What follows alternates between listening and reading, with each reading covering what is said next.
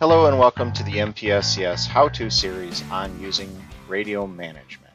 Today going to go over adding new radios to radio management. Once we're logged in, we're going to go to add or modify requests. We're then going to come down to the new request button. We're going to click the new request button. We're then going to choose the agency. If you're a local agency, you may only see yourself. If you are a vendor, you will see all the agencies that you have gotten memorandums of understanding to do their radio management. We're then going to go to the sub-agencies. Sub-agencies, most agencies will only see one. Some will see multiple.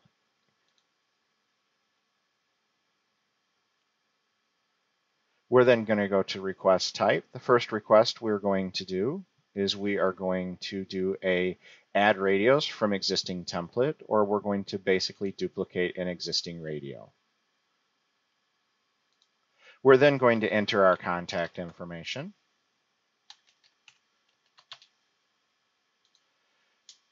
Email addresses that we would like to get notified at as the ticket moves through the process. We can enter up to four separated by semicolons.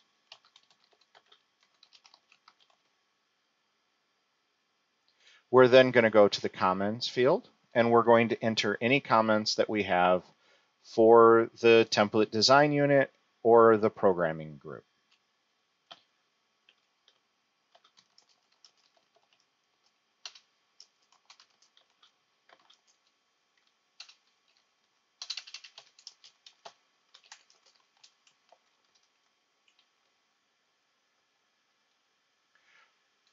Once our comments are entered, you'll see that the save icon up here becomes a dark color. Click on that, save it. It will now issue your transaction number that you will use for tracking this ticket through the rest of the process. Once that has happened, you come down here and you use the plus sign to create. Today we're going to add three radios to this ticket we're going to add two Motorola radios. First, we enter or copy over the serial number, then the flash code for a Motorola radio. We're then going to go to model family.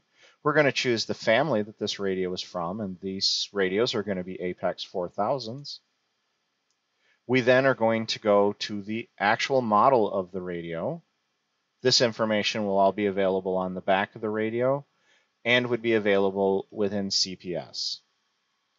We're then going to choose that this is a 6AN. We can choose an existing template.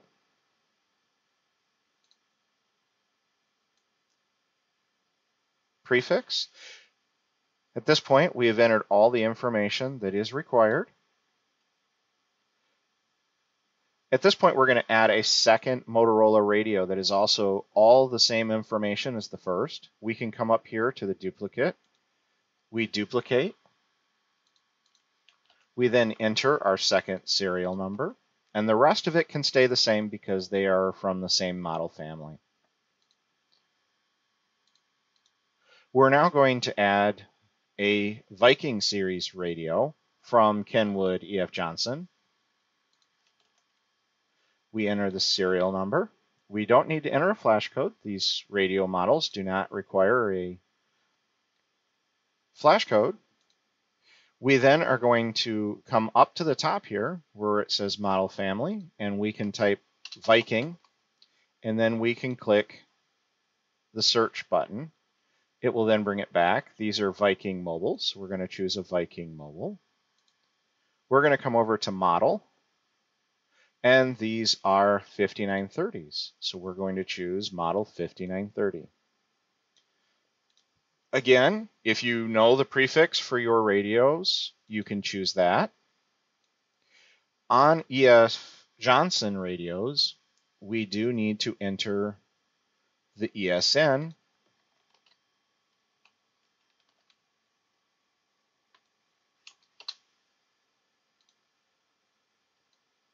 At this point, we're going to save these records.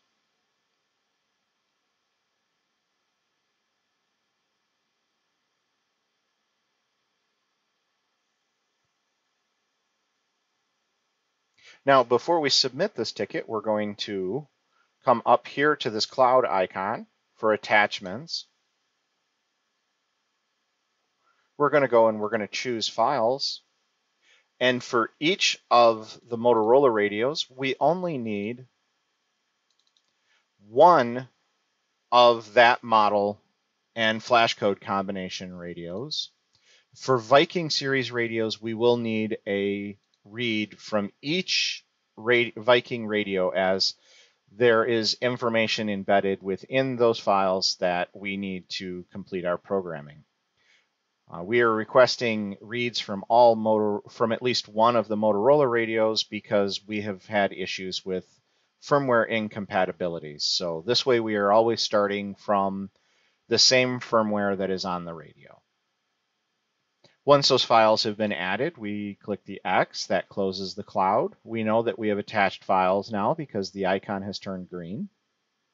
We are then going to come over here and we are going to submit the request.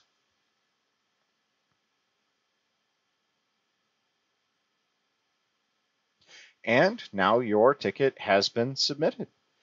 At this point, you will receive an email that tells you that your ticket has been submitted and will include your transaction number.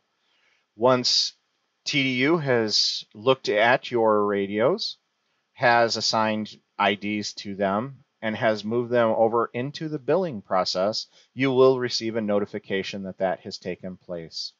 Once your invoice has been paid, the activation fees are satisfied, the billing department will then move your ticket over into the RPU programming queue.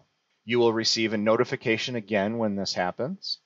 You will receive a final notification when the radio programmers have completed your request and completed the ticket. At which point you will come back into this ticket. You will go back to the cloud you will click on the cloud and there will be now be a file here or multiple files that are ready for you to download and program your radios.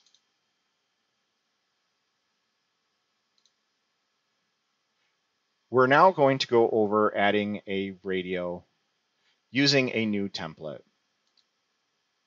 So we're going to do a new request.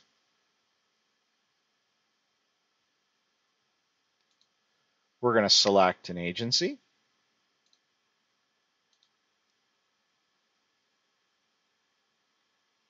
Again, we're going to select a sub-agency. This time, we're going to add radios with a new template. Again, we're going to add our contact information.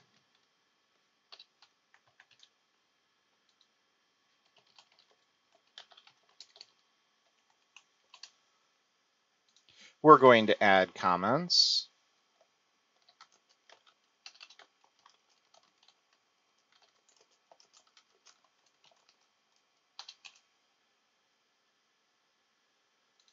Once our comments have been added, we're going to again go up and we're going to save.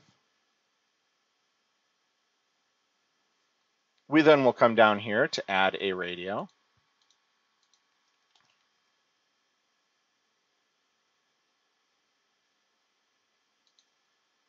Hit the plus sign to add a row, enter your radio information, serial number, flash code, model family. Again, these are Apex 4000s. And they are six ins.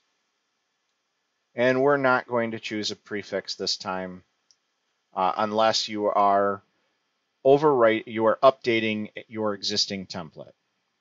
At which point you can come in here, choose your prefix, and we will know that you are updating a current template. You then will hit save. Again, we are going to go to the cloud. We're going to go to choose files. We're going to choose a file that will be used to start the programming.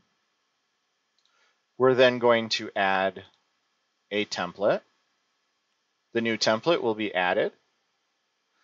Again, we go back, we hit the close.